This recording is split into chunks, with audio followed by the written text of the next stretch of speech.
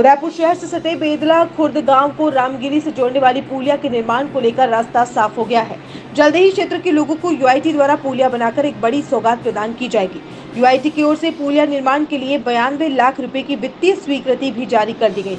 ग्रामवासियों की इस विकट समस्या को दूर करने में बड़गांव उप प्रधान प्रताप सिंह राठौर की महत्वपूर्ण भूमिका रही है। वहीं मावली विधायक धर्मनारायण जोशी ने भी इस मुद्दे को जटिल समस्या को विधानसभा में उठाया था। राठौर ने इसको लेकर यूआईटी के तत्कालीन सचिव अरुण हसीजा और तकनीकी अधिकारियों को मौके पर लाकर पुलिया निर्माण का सर्वे भी करवाया था। इसके अलावा राठौर ने पिछले दिनों यूआईटी के सचिव नितेंद्र पाल सिंह से मुलाकात कर बारिश से पहले इस पुलिया का निर्माण की मांग की थी, जिस पर यूआईटी ने इस पुलिया निर्माण को हरी झंडी भी दे दी। पुलिया निर्माण की तस्वीर साफ़ होने से क्षेत्र के लोगों में खुशी की लहर दौड़ पड़ी है।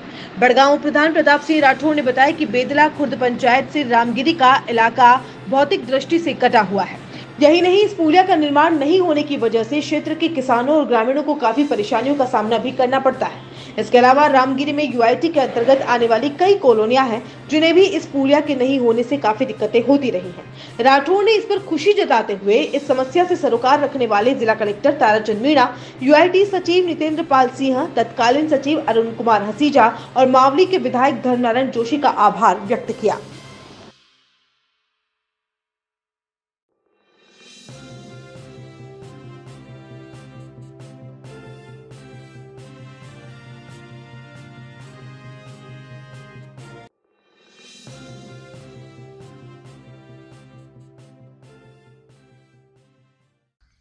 ये हम सब के लिए बड़ा ही आज खुशी का दिन है।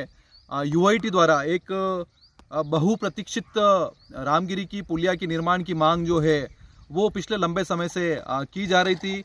उसे सौगात के रूप में यूआईटी के अधिकारियों ने, जिला कलेक्टर महोदय ने, सचिव साहब द्वारा जो है, हमें दी गई है। करीब बर्राणु लाख रुपए की लागत की अब पुलिया निर्माण जो है, उसकी स्वीकृति अब जारी हो चुकी है। मैं यूआईटी का इस मौके पर आभार व्यक्त करना चाहूँगा। रामगिरी की जो ये पुलिया है, इसको लेकर पिछले लंबे समय से हम सभी लोग प्रयासरत थे कि किसी भी तरीके से इस पुलिया का अगर निर्माण होता है तो निसंदेह जो लोग हैं, क्योंकि इसके आसपास कई गाँव के जो लोग हैं, इसके अलावा बेदला खुर्द और रामगिरी की कनेक्टिविटी जो है, बारिश के समय में चार से पाँच महीने का जो समय होता है, उसमें काफ़ी दिक्कत जो है वो होती है लोगों को इधर से उधर आने में। इसके अलावा एक यू टर्न जो है वो पूरा यहाँ से बनता है, जब रामगिरी के बाशिंदों को यहाँ पर आना पड़ता है तो पूरा बड़गांव और बेदला का चक्कर काटने के बाद वो बेदला खुर्द पंचायत में आता है। तो निसंदेह एक बड़ी कह सकते हैं कि समस्या, जटिल समस्या ये थी और पिछले लंबे समय से हम लोग इसकी मांग कर रहे थे।